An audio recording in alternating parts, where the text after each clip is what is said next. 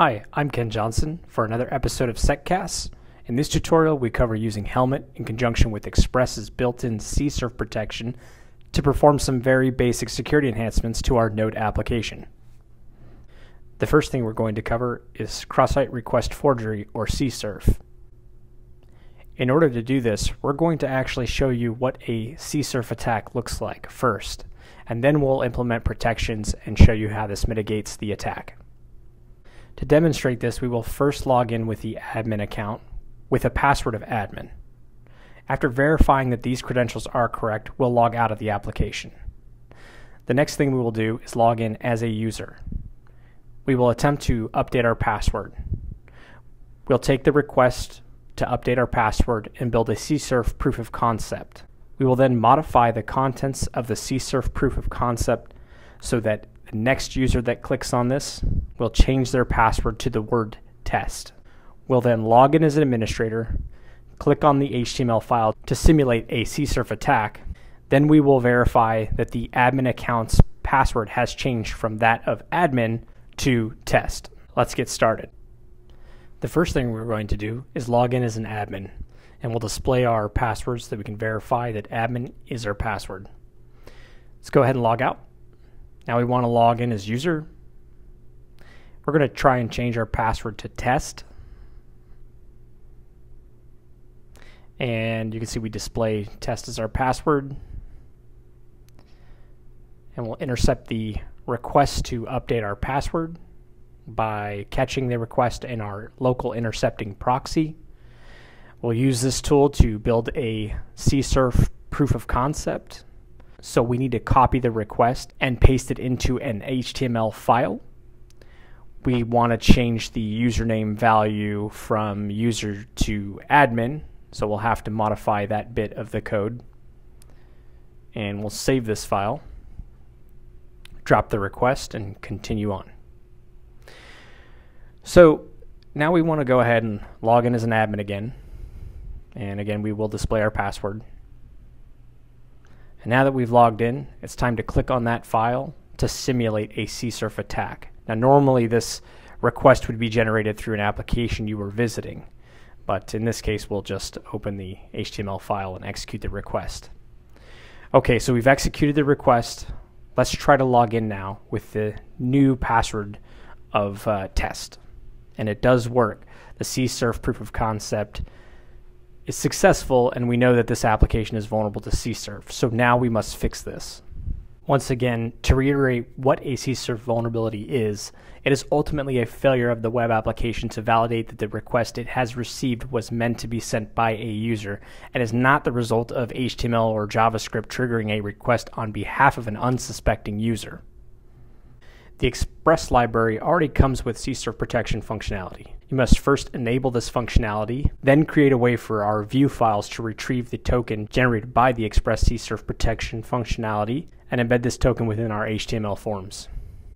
We will enter in some code here that activates Express's CSRF protection, and then we're going to create a function that in essence gives us a CSRF token variable that we can access from each one of our views and this allows us to put that into our form as a hidden input. It will be passed when the request is sent to the application. And then we'll enter next. And this allows the code to proceed in its chain of execution. Then we'll add a hidden input field here. We'll call it underscore csurf. And we'll give it a value of that csurf token object we created. We'll put this both in the login page as well as the my account page now we need to verify that this measure has actually worked. So we'll log in as the admin user and then we're going to click on that CSRF file again to execute the CSRF attack request. And once we submit that, we see that there is an error stating that we have an invalid CSRF token. This means we've successfully protected our application against CSRF attacks. So that really completes our CSRF protection portion of this tutorial. We'll proceed on to some basic response headers that you can set in order to further enhance your Express application. In order to enhance the security of our application, we will leverage the Helmet library. The Helmet library is a series of middlewares for Express applications that implement various security headers to make your app more secure. In the developer's own words, this is not a silver bullet, but it does afford some basic protections around things like clickjacking attacks and vulnerable caching directives, as an example. In order to include the helmet library in our application, we'll need to add it as a requirement in our package.json file. We'll navigate to the server.js file and require it, and then we'll use npm install to install and download the library. Before we go ahead and activate some of these settings, I would like to show you the differences between our application's responses pre and post configuration. To do that, we will intercept a response from the application and send it to our comparer tool, which allows us to analyze the differences between HTTP messages. Here you see that we have a request to the application. What we really want to review is the response. So we're going to go ahead and click on that response and send it to compare. And we'll just store that for now. We will circle back to it later after we've configured our application. The developers of Helmet have provided a lot of documentation around the library. They've documented configuration options, how to set them, and what they do. So I encourage you to review their page to determine what security configuration options make sense for you. The first header we will add is the CSP header. This prevents cross-site scripting when using a modern browser. The next header we will add is the X-Frame options header. This specifies who can iframe your site or if your site can be iframed at all. This helps prevent against clickjacking attacks.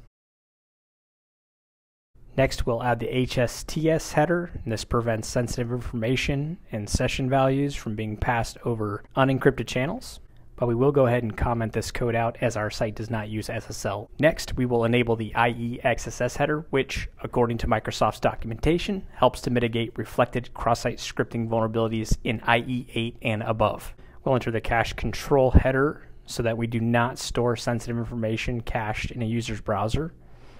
In addition to that, for older browser support, we have to enable a couple of other response headers. So we'll go ahead and do that in the same function we used to create the CSRF token object. We'll set a pragma no cache header, and we'll set a expires zero header as well. Again, this is to support older browsers. While we're enhancing the security of our site, we'll go ahead and place some protections on our cookies. There are two flags we can set on our cookie to make it a bit more secure. We'll leverage the HTTP only flag as well as the secure flag. Now, for the secure flag, this means that since this site is not SSL enabled, the cookie will not be sent in the request. So we actually have to comment that out just for the purposes of this tutorial. All right, so now we want to see what all these configuration options we've set actually do. Once again, we will capture a response and we will send this to compare. Now we'll review the response pre-configuration and the response post-configuration to see the differences in the two. As you can see, there are several response headers that have been set, all of them to help enhance the security of your application.